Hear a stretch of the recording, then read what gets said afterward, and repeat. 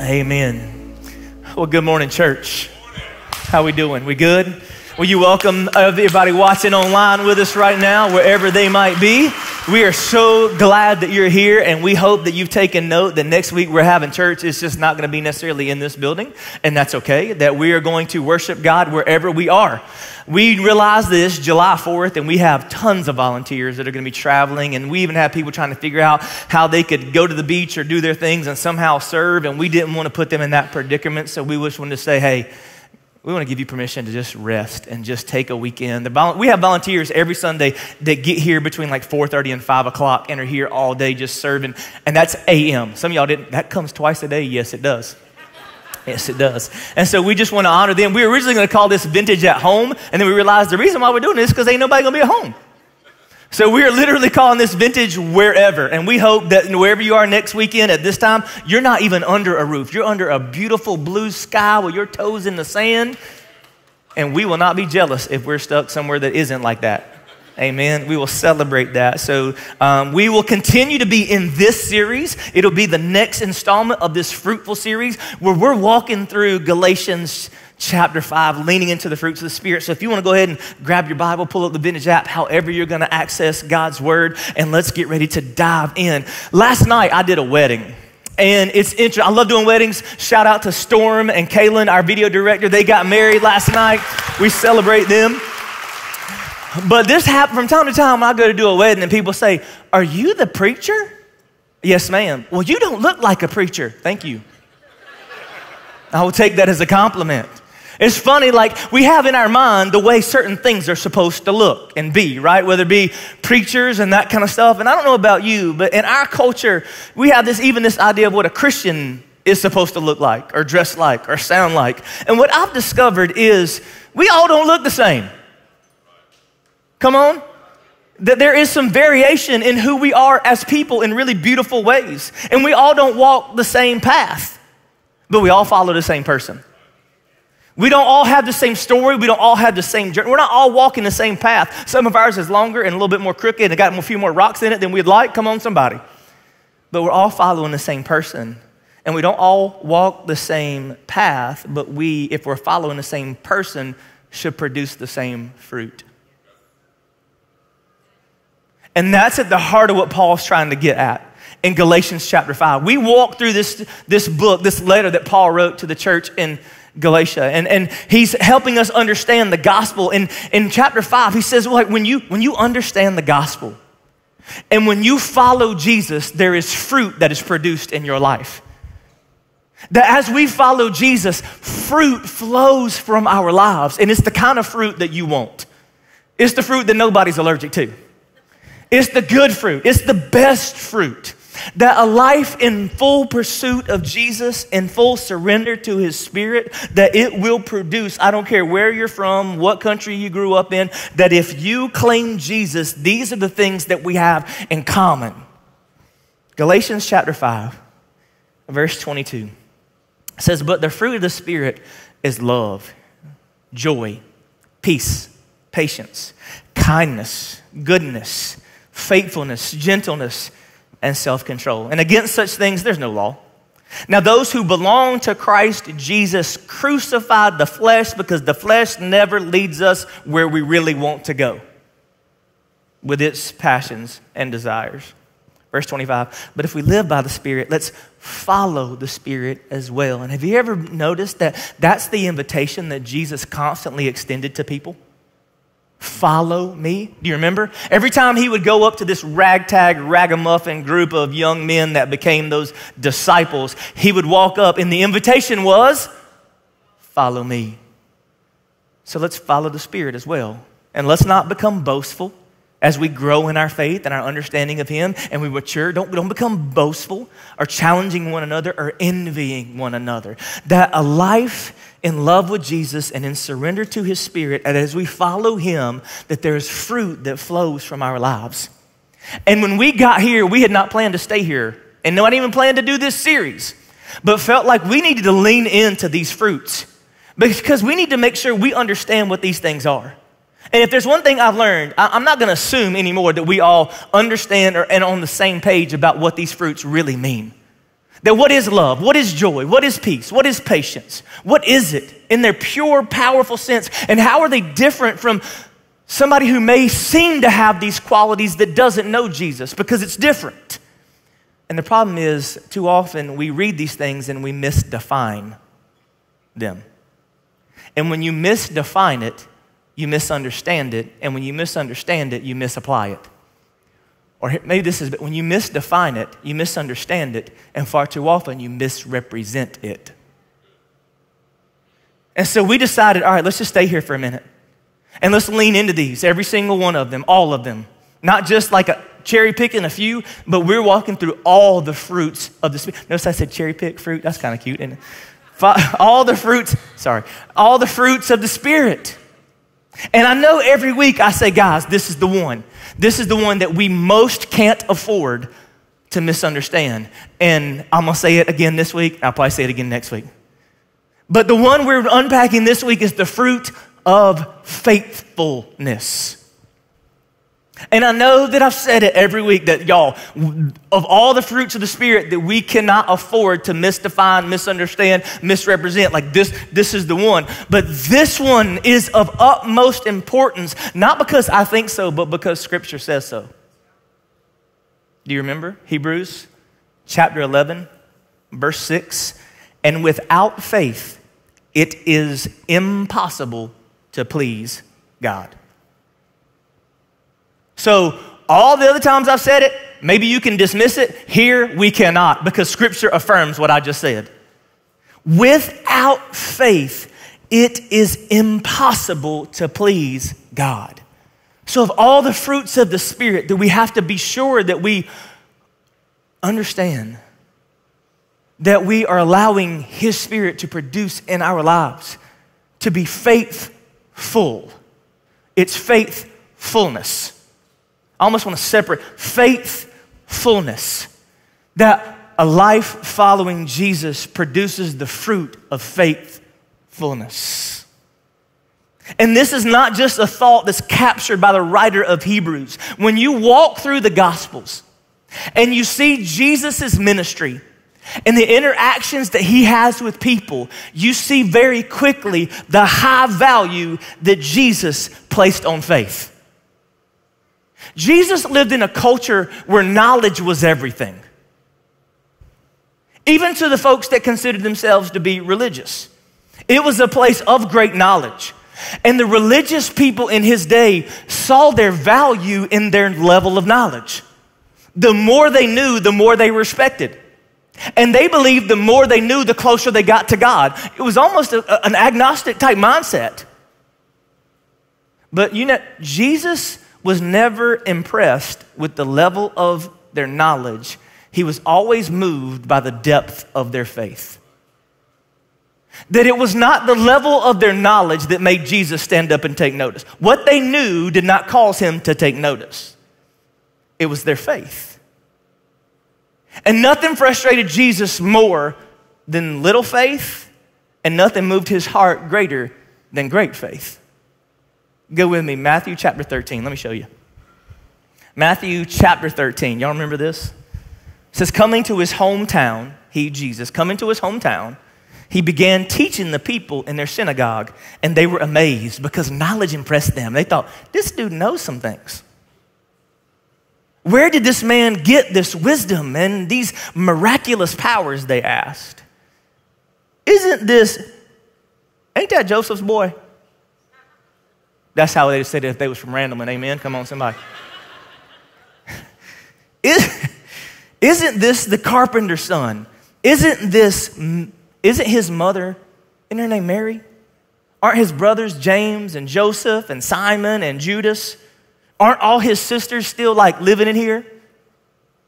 Where did this man get all these things? And they took offense at him. But Jesus said to them, A prophet is without honor except in his own town and in his own home. And verse 58 And he did not do many miracles there because of their lack of faith. That nothing frustrated Jesus more than a lack of faith. And here he finds himself in his hometown, and they can't get past what they know.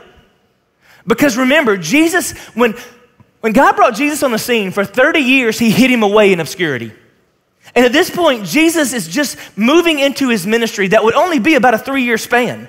So, what they know about Jesus in this moment versus all the history they know about him, they have a really hard time believing. They're like, that's, that's Joseph's boy. That's, his sister lives in my neighborhood. I remember him. And it says, because of their lack of faith. And now, sometimes preachers have kind of misrepresented this passage. It wasn't that Jesus couldn't do very many miracles, because God is not limited to or by us. It says he chose not to. It says he didn't do it because of their lack of faith. Because see, sometimes we read that verse and think, well, okay, if I have enough faith, then God will do anything. Look at me. No amount of faith will ever move God to do something that you want that isn't in alignment with His will. That's good. No amount of faith will ever move God to do what you want that isn't also in alignment with His will. But see, that comes down to this thing of misunderstanding faith. Well, if I just have enough faith, then God will do it. God will never do anything that's contrary to His will, His nature, His character, His greater good for His glory in this world. Come on. He won't. And what was happening here is not that He couldn't do anything, it's just because of their lack of faith, He didn't. That distinction is really important. Did I, did I make it clear enough? Come on. It's really important.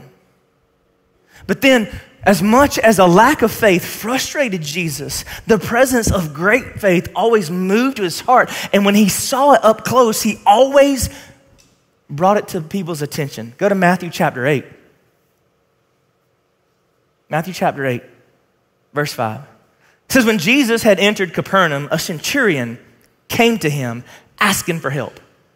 Lord, he said, My servant lies at home, paralyzed, and he's suffering terribly. And Jesus said, Shall I come and heal him? The centurion replied, Lord, I don't deserve to have you even come under my roof. But just say the word, and my servant will be healed. For I myself am a man under authority with soldiers under me. I tell this one, go, and he goes. And that one, come, and he comes. I say to my servant, do this, and he does it. And when Jesus heard this, he was amazed and he turned to those following him and he said, Truly I tell you, I have not found anyone in Israel with such great faith. That every time Jesus bumped up against a person with great knowledge, it didn't impress him. He constantly was engaging with these Pharisees, these people that, that could quote the scriptures and the law and knew the prophets and had all this knowledge. But then he walks up to a guy who's a centurion, a soldier, a military man. And he recognizes authority when he sees it. And he, Jesus, will you heal my servant? Yeah, you want me to come to your house? Nope. I'm not even worthy you come to my house, but I know if you just speak from here to there, it can move. It can do something powerful. So I, be, I, I so believe in you that I know, I am confident in, that if you say it, he will be healed. And that's faith. And that moved his heart. And he took notice. And this is a concept that we see all throughout Scripture. That it doesn't say anywhere that we are driven by knowledge. That knowledge is the gateway to great things. No, it says faith faith. Go to Galatians chapter 2, verse 20. Do you remember this? We already read it. We read it in the Plain and Simple series, where Paul is describing this new life he has in Christ. He says in verse 20, I have been crucified with Christ, and I no longer live, but Christ lives in me. The life I now live in the body, I live by faith in the Son of God who loved me and gave himself for me. That I had a life that was driven by knowledge. I had a life that was controlled by the pursuit of knowing and knowing and knowing and knowing. But what I realize now is knowing can only take you so far. There is, there is eventually a time when knowledge hits a wall. Come on, somebody. There is a time when knowledge hits a wall, when there is an end to intellect, when there is a threshold to your understanding. And faith is what closes the gap between that point and you walking forward in faith with God. And see, I know we live in this place. There's a lot of people sitting in this room. Matt, when I, when I get all the answers, when I have all the questions figured out, when I cross all the T's and dot all the I's, then I believe in Jesus. You know, my answer is you never will. Because that's what makes him God. There's a gap between what your little brain can figure out. And I'm not, look at, I'm not saying there's not a place for knowledge. Knowledge can be a great pathway to faith. But knowledge in and of itself is not enough and has a limit. Are you with me? Say amen. It has a limit. And what's, what faith is, is when you bump up against that spot, when you hit that threshold, faith has to be engaged to move you forward. Romans chapter 1, verse 17. For the gospel, for in the gospel, the righteousness of God is revealed, a righteousness that is by, say it again, faith. From first to last, just as is, as written, the righteous will live by faith. That all throughout the New Testament, we see this powerful theme that faith is the fuel that moves the follower forward. And without it, we cannot please God. Second Corinthians chapter 5, verse 7. We live by faith and not by sight. Because there's gonna come a moment when what you see does not align with what he has said, and what you do next will determine whether or not you have faith or you don't. So, what is faith? And see, here's the problem. All of us know all this, and we think, yeah, I have faith. I know what faith is. But one of the biggest mistakes that we've made in Christian culture is somehow made belief and faith synonymous with one another. And I would submit to you, they are not, and that is dangerous. We have somehow put faith and belief as kind of like interchangeable words. They're all faith and belief, same thing. No, they're not. No, now, don't get me wrong. Belief is a good gateway to faith. Belief leads to faith. But until belief transforms into something more, it's nothing. So that begs, okay, well, what is faith? Well, the writer of Hebrews, Hebrews chapter 11, verse 1, now faith is confidence in what we hope for and assurance about what we do not see. See, faith is so much more than just belief.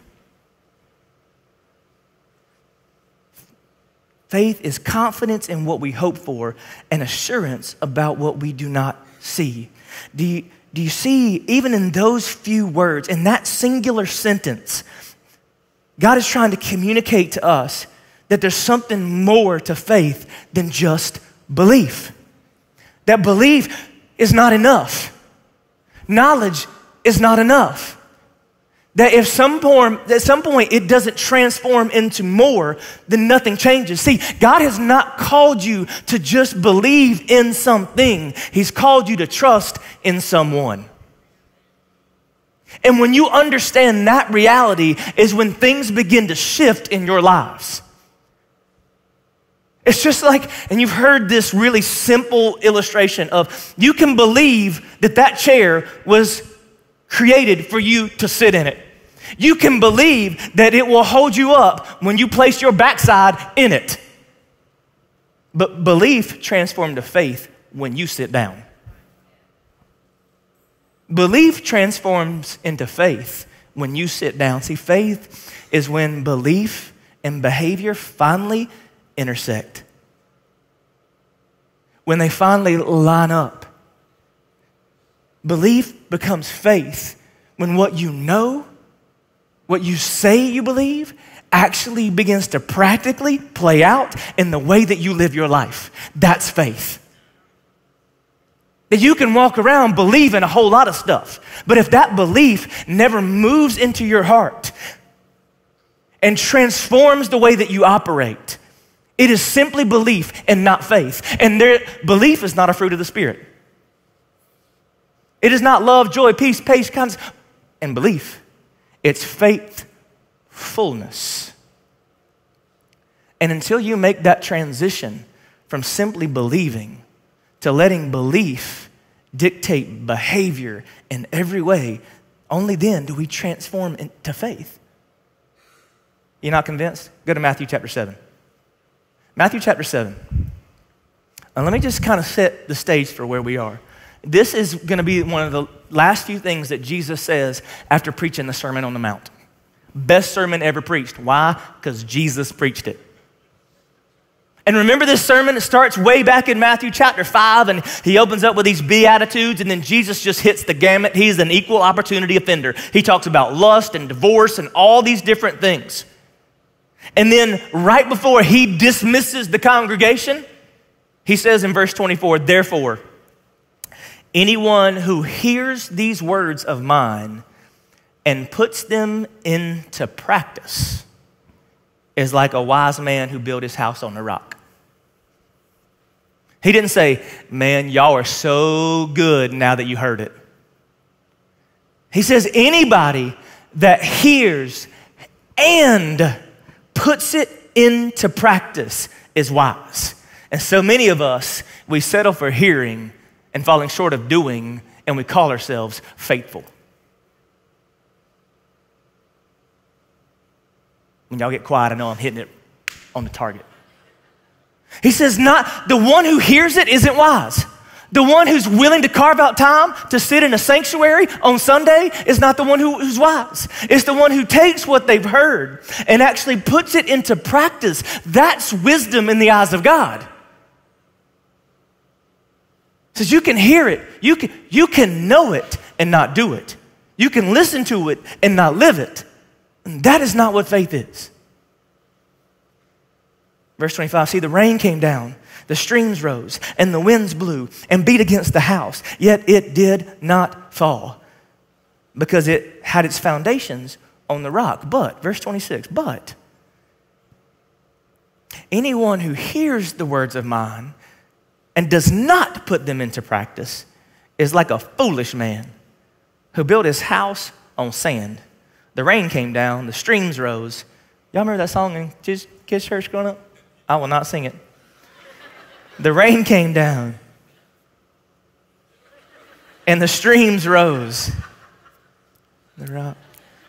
Some of y'all like, yeah, I remember that. What am I reading? Uh, the rain came down, and the streams rose, and the winds blew and beat against that house, and it fell with a great crash. Jesus said, The wise people aren't the people who show up just to hear or sit down just to read. The wise one is the one who realizes that those private disciplines must lead to practical application or they're pointless. Like it's awesome to have those private disciplines of sitting down with your cup of coffee and your worship music playing and reading the word of God at your kitchen table every morning at 5:30 a.m. That's awesome. But if those private disciplines don't translate to practical application, then Jesus himself just said, that's foolish. And we know this. Listen, you can know how to exercise and never be healthy. You can know how to eat right and still not lose them LBs. Right? Knowing anything is never changed a thing. Only when that knowledge is put to use does something really significant happen. It's true about every area of life. Just like you can know how to exercise and be unhealthy, you can know scripture and be spiritually immature. Because it's the ones who practice this. And nobody said this more profoundly, more bluntly than Jesus' baby brother James one of my favorite books in the Bible. Whenever somebody says, Hey, I'm new to faith, what do I read? Gospel of John, Book of James, start there, and we'll move on. James, this baby brother of Jesus, who knew what it was like to have a lot of knowledge of Jesus and not really faith in Jesus, because he spent most of his life in that space. He got tired of hearing Mary saying, Let me tell you how your baby brother was born. It was so special. See, an angel came, and then we rode a donkey and all these things, and he did cry at the manger. I don't care what the song says, I was there. James. What good is it, my brothers and sisters, if someone claims to have faith but has no deeds? Can such faith save them? Suppose a brother or sister is without clothes and daily food. If one of you says to them, Go in peace, keep warm and well fed, and does nothing about their physical needs, what good is it? In the same way, faith by itself, if it is not accompanied by action, it's dead. But someone will say, You have faith, I have deeds. Show me your faith without deeds, and I'll show you my faith by my deeds. You believe that there is one God? Good. Even the demons do that. That if belief was the threshold of necessary, then the devil and the demons would be all right. And they're not, in case you didn't know. He says, no, there has to be this transition where faith is not just, faith is not just a belief we hold in our minds. It is a truth that we apply to our lives. At some point, it, belief and behavior intersect, and that is when faith occurs. And so often we're bumping up against the threshold of our knowledge and our understanding and all these things. And what's necessary to go the distance in obedience to God is faith produced in us by the Spirit, listening to His voice, trusting in what He says is true. Faith is only, faith is measured when trust is demonstrated. And only then. It's not just knowledge about, it's trust in. That's faith. That's faith. That's the faithfulness produced by the Spirit in the life of a follower of Jesus. And one of my favorite stories of this faith in action is that moment. Do you remember this? It's in Matthew chapter 14, where Jesus sends his disciples out on the water to go ahead to their next location where they want to do ministry while he hangs out and spends some time with the Father. And then in the middle of the night, Jesus decides he wants to join them and he doesn't jump in a kayak, he just starts walking across the water. And now these disciples see this ghostly figure walking on the water, and Peter, in his bad self, he looks up and says, I think that's Jesus, but I'm not really sure. And remember, Peter, Peter was a fisherman before he decided to follow Jesus, which means his father would have been a fisherman and probably his grandfather. Peter grew up on the water, and when people stepped out in the water, they usually went under. But there's this moment, Matthew 14, 28. Lord, if that's you, tell me to come to you on the water. And verse 29, come. If it's me, I'm like, nah, I believe you, man. I'm gonna stay right here. I recognize your voice, Jesus. Because it's storming and the water's, and, and like Peter's, Peter's, I've never walked on water before, but in faith, when you join Jesus where he is, you can do things you couldn't do otherwise. And y'all know the story. Peter throws his leg over the bow of the boat and he starts walking to Jesus. And it says, But when he saw, verse 30, but when he saw the wind, he was afraid. And beginning to sink, he cried out, Lord, save me. Immediately, Jesus reached out his hand and called him, You of little faith, why did you doubt? He says, Peter, did you really think I was going to call you out on the water just to watch you drown? Why didn't you believe that if I called you, it would be okay? Did you not have enough faith that when you were forced to step beyond your capability and beyond your comfort to walk in confidence, believing the one who called you would come through? That's faith. That's what faith will constantly force you to do. Faith will constantly put you in positions where you stand at that threshold and you have to cross beyond your capability and your comfort and in confidence, trusting that the one who called you will come through. That's faith. So, you want to know if you had it? If you're not frequently, look at me, if you're not frequently finding yourself in positions that are beyond your capability and well beyond your comfort, where you have to have confidence in Him or you're going to drown, you're not living by faith.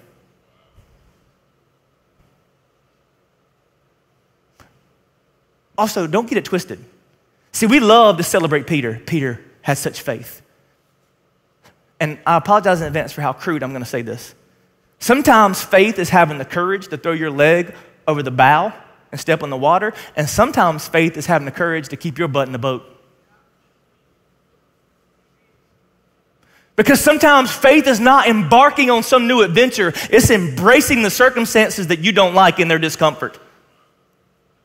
Sometimes it takes just as much faith to stay in the boat. There's another story I could point to there, as it does to get out and walk on the water. Because, see, everybody ever always heard that saying, there's a fine line between faithful and foolish? It would have been foolish if that wasn't Jesus calling him out, because he would have sunk, sank, sinked. You know what I'm saying? But it's also foolish to stay in the boat if Jesus is calling you out on the water. But to live by faith is to live constantly putting yourself beyond your capability and beyond your comfort and walking in confidence that the one who called you will come through. Today is the 27th, which means two days ago was the 25th. And June 25th may not be meaningful to most of the people in the room, but it's very meaningful to me. Because it was on Monday, June the 25th, 2007, that we woke up, finished packing up the biggest U Haul we could find, and Ashley and I finally moved to North Carolina to start Vintage Church. It had been seven years of amazing ministry with people that we dearly loved. My wife taught at a school that she, she really enjoyed. We had friends that had become family, and here we are. God had been stirring in our hearts to go and plant this church, and we, we've been in the process and making all the decisions, and we bought a house up here. And that morning we got up and we, we packed up that big old U Haul. But I'll never forget, we got about 30 minutes from our house in Seneca, South Carolina, and I just turned on I 85 to head north towards North Carolina, and all of a sudden, this overwhelming sense of what have I done hit me. All the fear and anxiety and doubt and questions crashed over my spirit like a tidal wave that felt like it was gonna drown me. And literally, I'm thinking, I have just ruined our lives. What am I doing? Why are we doing this? Why have I asked my wife to follow me here? It's me, her, hopefully my parents, and we may have about 10 grand in the bank, and that's it. This thing ain't gonna last six months. And I even start thinking, can I just turn around? If I go, I think they'll take me back. I'll find some way of letting everybody know that this was all just a bad idea. And for several miles driving down or driving up 85, I kept thinking, this is, I've ruined our lives. That this is not going to work. In that moment, I, God and I had to wrestle through some things. And you'll never know how close we were to none of us sitting right here, right now. And this is what God convinced me of Matt, you can't. You can't but you should because I'm calling you. And if you'll just go, I will. And those three phrases have been the mantra of my life for the last 14 years. I can't. I know I can't, but I'm sure I should, so I'll be confident He will. I know I can't. I know I'm not capable. I know I'm not worthy. I know I can't.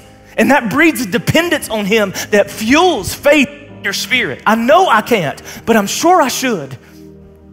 Because I hear his voice and I'm walking in step with his spirit. I'm sure I should because it's him calling me. And I'll be confident that he will come through because he always has. Faith is so much more than just holding a belief in your mind or a knowledge in your heart. Faith is when belief and behavior intersect. Faith is when you stand in the boat and you know God's saying, Come out on the water. Even though you know you aren't capable and you are super uncomfortable, you go anyway. And if that's constantly not where you are, then today you need to do some talking to God. So, will you stand with me? And we're going to worship before we leave here. And I want you to have some hard conversations with God. I want you to ask that question Am I constantly finding myself in positions where I'm incapable and uncomfortable, but I'm confident in who He is? What's that step that maybe God's saying, You've been standing at the bow, and I've been trying to tell you to throw your leg over for two years, and it's time to go. Or maybe you're standing at the bow, and God's saying, Sit down. because you are where I want you to be, and you need to have the faith to trust me and just stay there. Father, I don't know what's happening in the hearts and lives of the people in this room, but I'm so grateful that you do. And Lord, as we worship you now, before we exit this building, before we put our minds and hearts into what happens next week, help us just to take a moment, allow you to cultivate the soil of our soul, to plant the seed that's necessary in it to grow faith in our lives. Have your way, Jesus. Speak to hearts, challenge us all. In your name we pray. Amen.